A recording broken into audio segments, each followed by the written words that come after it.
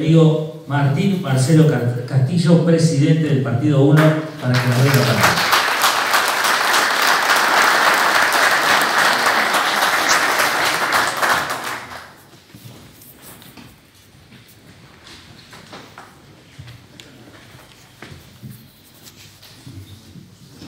Compañeras, compañeros, primero algunos, en forma preliminar, algunos agradecimientos al compañero Abel de Lanús, un gran abrazo y gracias por acercarte a este encuentro de dirigentes.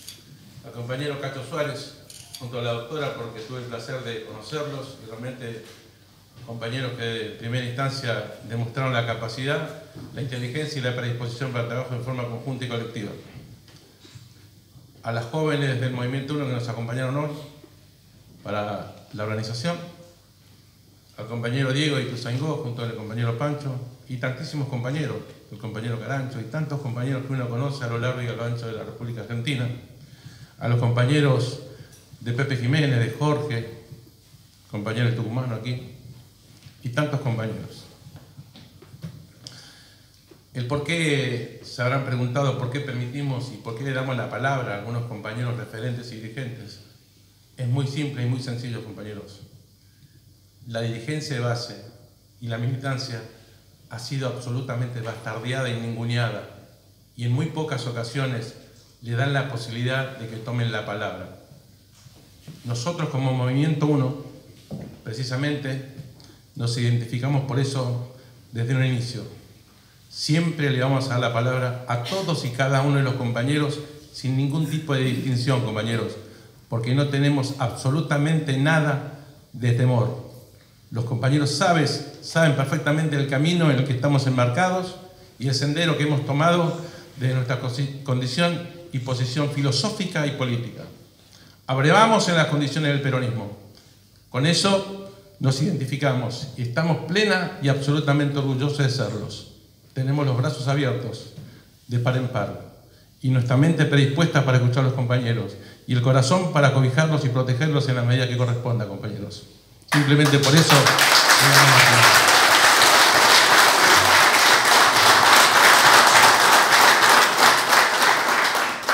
Han hablado en este encuentro los compañeros de la militancia, los compañeros dirigentes, referentes de algunos partidos políticos, empresarios, médicos, dirigentes políticos, dirigentes sindicales. Acaban de escuchar al compañero González recién.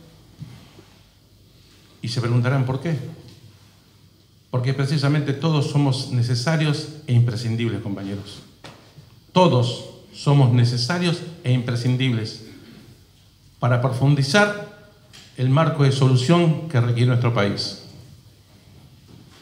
Por otra parte, compañeros, nos pregunta a nosotros de dónde venimos los peronistas, de qué lugar recóndito de nuestra historia nacional ¿De qué profundidad filosófica y sociológica procedemos los peronistas?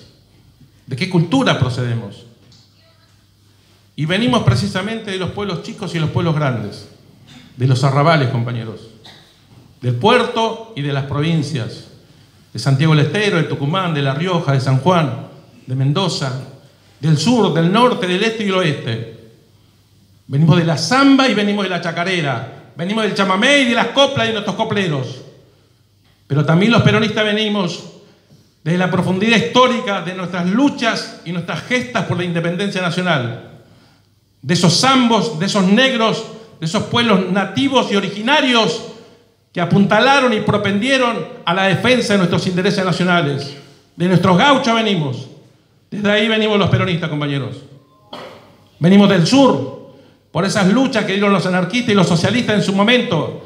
La famosa Tragedia de la Patagonia, compañeros. La Patagonia rebelde de Osvaldo Bayer. De ahí venimos, compañeros. Venimos de los anarquistas y los socialistas.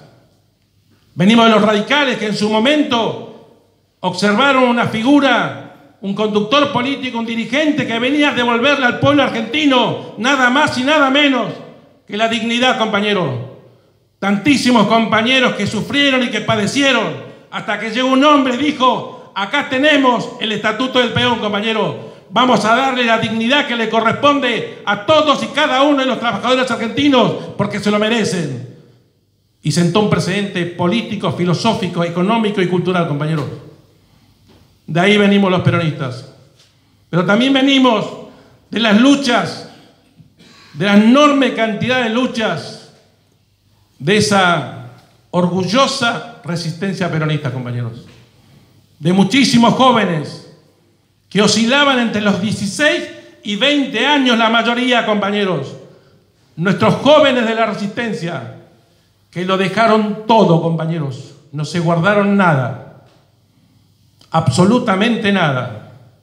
Y no pidieron nada para sí, ni para sus familias. Dieron su vida y pusieron en riesgo su propia familia, compañeros. Y no tenían veleidades ni esas ínfulas de, de, de grandiosidad que tienen algunos dirigentes, compañeros. Esas ínfulas que no han llevado a la mediocridad política, compañeros. Ese vedetismo mediocre que ha internado al peronismo en un montón de situaciones mediocres y trágicas, compañeros. Esos compañeros de la resistencia no pidieron nada.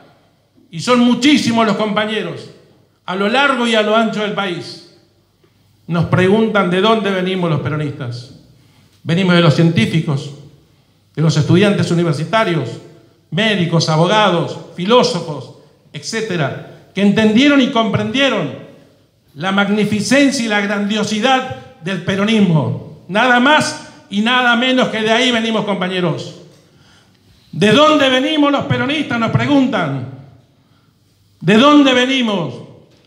Venimos de los hombres y mujeres y jóvenes que con una pluma sabia, con una pluma inteligente, supieron expresarnos sus ideas y volcar en esos textos donde muchos de nosotros abrevamos y el reconocimiento por las luchas de nuestros compañeros.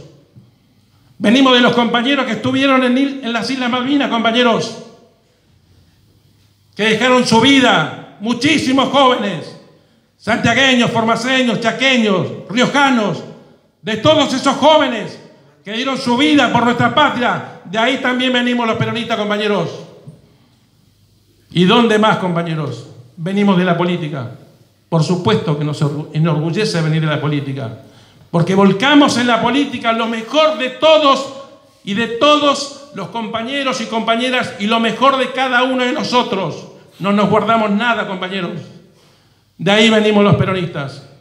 Y para nosotros es un orgullo nuestra procedencia. La historia del peronismo, compañero, se ha hecho en base a lucha, en base a tragedia, en base a torturas, en base a secuestros, en base a mucho dolor. Pero también, compañeros, esa lucha permitió reconocer e identificar la hidalguía, la hombría de bien, la habilidad, el desprendimiento de tantísimos compañeros, que lo único que querían, compañeros, es ser conducidos por el conductor más importante que tuvo la Argentina, el general Juan Domingo Perón.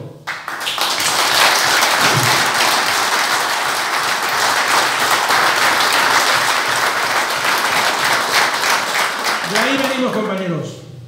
Desde ahí venimos. De lo largo de la historia argentina. De ahí venimos. ¿Y dónde estamos hoy, compañeros? Hoy estamos ante la tragedia más acuciante y apabullante que ha atravesado la República Argentina, compañeros. Lo que estamos observando, lo que visualizamos, lo que identificamos, es una tragedia, compañeros. Dolorosa y enorme tragedia, que la padecemos todos. Nadie está exento de las consecuencias y secuelas de esta tragedia. Lo sabemos bien los profesionales, lo saben perfectamente los trabajadores, lo saben las amas de casa, nuestras compañeras, lo saben nuestros hijos. Toda la sociedad argentina se ve convulsionada y afectada por esta situación. Nos va a costar décadas, compañeros, poder medianamente encarrilar a la Argentina y darle un marco de solución a, a toda esta tragedia. Y es difícil, compañeros, pero me pregunto y les pregunto, ¿Cuándo la tuvimos fácil los peronistas, compañeros? Cuando hay velorios, nos llaman, compañeros, pero cuando hay cumpleaños, muy pocas veces. Muy pocas veces invitan a la militancia y la dirigencia de base. Nos invitan cuando hay velorio, cuando hay tragedia, cuando hay crisis. Ahí sí nos necesitan y ahí nos convocan.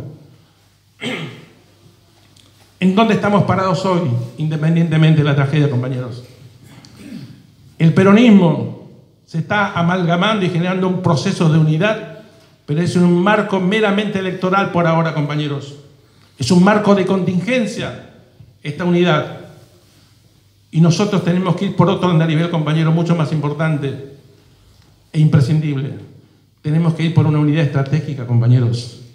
La unidad estratégica significa que tenemos que pensar en nuestra patria primero, compañeros, en nuestros hijos, en nuestros nietos, en nuestros hermanos. Tenemos que dejar de lado las nimiedades y las mediocridades, compañeros. Napoleón Bonaparte decía sabiamente que las victorias y los triunfos se construyen.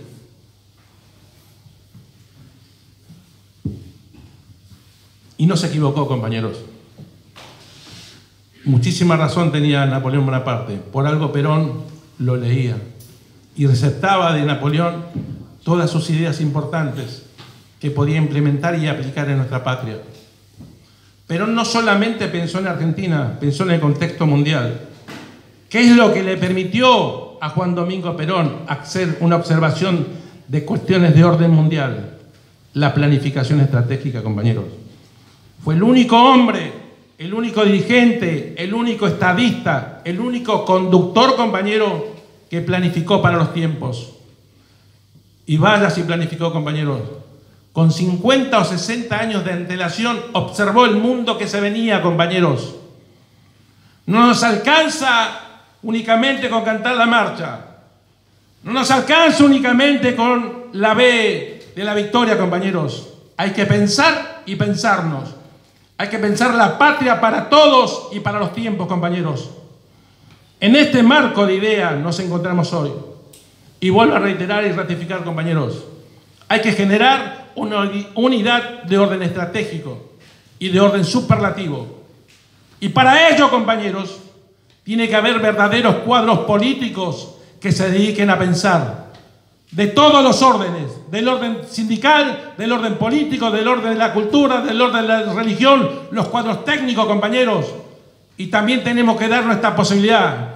De una vez por todas el peronismo tiene que generar o gestar una escuela de orden económico. Tenemos que sacar nuestras profesiones los economistas tienen que surgir de las extrañas del peronismo y tenemos que tener un ministro que surja de esa escuela de economía, compañeros. Es inaceptable, compañeros. Es,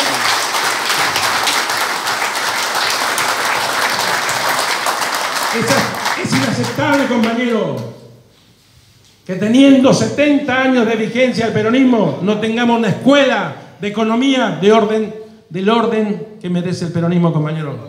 ¿Cómo puede ser que estemos buscando ministro de Economía en forma permanente en las elecciones, compañeros? ¿Para qué se hizo la planificación? ¿Por qué no nos damos la posibilidad de pensar, compañeros? ¿Por qué no nos fijamos? ¿Por qué no observamos cuáles son los tiempos que se vienen? Pero para hacer eso hay que tener una planificación estratégica. Y para tener una planificación estratégica, compañeros, tenemos que tener cuadros políticos. Para tener cuadros políticos hay que preparar y capacitar a nuestros jóvenes. El Movimiento 1, si hay algo de lo que estamos orgullosos, es de nuestra jornada de formación y capacitación política, compañeros. Solo la inteligencia, la capacidad, la sabiduría y las convicciones hacen un gran pueblo y un gran individuo, compañeros. En ese marco, en ese tren de ideas tenemos que estar nosotros, compañeros. Y el peronismo tiene que ocupar el lugar que le corresponde. El lugar que le corresponde al peronismo es el triunfo y la victoria. Pero vuelvo a decir, compañeros, los triunfos se construyen, compañeros. Las victorias se construyen. Y para construir la victoria, independientemente de esta unidad de orden estratégico, tenemos que recuperar, compañeros, nuestra industria, nuestro comercio interno, nuestro comercio exterior, nuestras hidrovías, nuestras riquezas marítimas, compañeros ¿Cómo puede ser que nuestra riqueza marítima la usufructúen los buques extranjeros? ¿Cómo puede ser que nuestra riqueza marítima se vaya por nuestras propias aguas, compañeros? Es inadmisible e imperdonable para la dirigencia política, compañeros. ¿Cuándo nos vamos a dedicar a pensar? ¿Cuándo vamos a dedicarnos a generar un proceso de planeamiento estratégico, compañeros? Tenemos que hacer Y fundamentalmente los dirigentes tienen que hacer mea culpa que corresponde, compañeros. Hagámonos cargo de la historia, compañeros. Hagámonos cargo de la, de la, empresa que debemos de acometer. Por eso es imprescindible, como decía recién, recuperar estos ítems. El comercio interno, el comercio exterior, las hidrovías, la riqueza marítima, recuperar nuestras minas, compañeros. ¿Cómo puede ser que la explotación minera esté en manos, el 99,99% esté en manos extranjeras, compañeros? ¿Cómo puede ser? Por acá pasó Perón, compañeros. Y 70 años después estamos pensando en recuperar. Decía Bertolt Brecht que cuando nos ponemos a discutir lo obvio es porque algo raro está pasando, compañeros. ¿Cómo puede ser que en materia de comunicaciones esté todo librado al azar y en manos del extranjero, compañeros? ¿Cómo puede ser que nuestras finanzas estén en manos del extranjero? ¿Cómo puede ser que nuestros recursos energéticos estén en manos de compañías multinacionales extranjeras? Entonces, compañeros, para rever todas estas cuestiones y, adoptar las medidas que corresponde, tenemos que pensar, compañeros. Dije de dónde venimos, Dije dónde estamos y hacia dónde tenemos que ir, compañeros. Los compañeros del Movimiento 1. Invitamos a todos y cada uno de ustedes, grandes dirigentes de agrupaciones políticas, de partidos políticos y de espacios religiosos, de espacios sindicales, para que expresen su pensamiento. Nosotros venimos simplemente a aportar, compañeros. Hay algo en lo cual no vamos a ceder y mucho menos cejar, compañeros. En nuestra incondicionalidad con nuestra patria y nuestra incondicionalidad con nuestro pueblo y querido pueblo argentino, que en este momento está sufriendo muchísimo, compañeros. No pecamos de vedetismo ni de veleidades y mucho menos de ínfulas. Compañeros, la unidad nacional organizada viene a ponerse nuevamente a disposición de los intereses de la patria y del pueblo argentino. Y para ir cerrando, compañeros, agradecer nuevamente la presencia de todos y cada uno de ustedes y hubo alguien que dijo, primero la patria, después el movimiento y por último los hombres. Nosotros decimos simplemente esto, compañeros. Una sola patria, la República Argentina. Una sola bandera, la celeste y blanca. Y una sola política, una sola filosofía, una sola economía y abrevar en la cultura del peronismo. El peronismo es algo realmente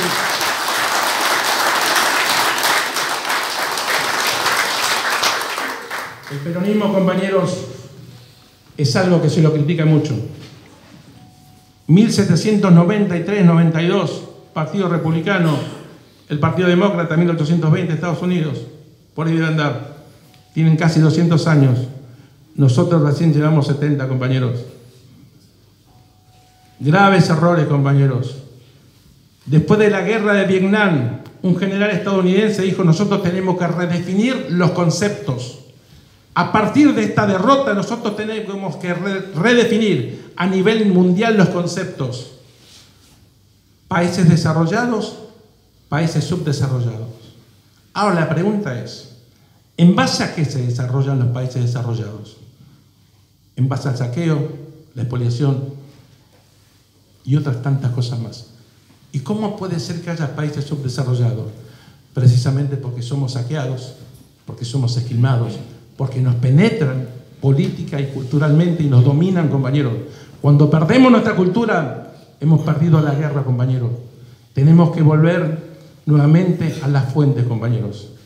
Independientemente del peronismo, tenemos que recuperar el orgullo de ser argentinos, compañeros.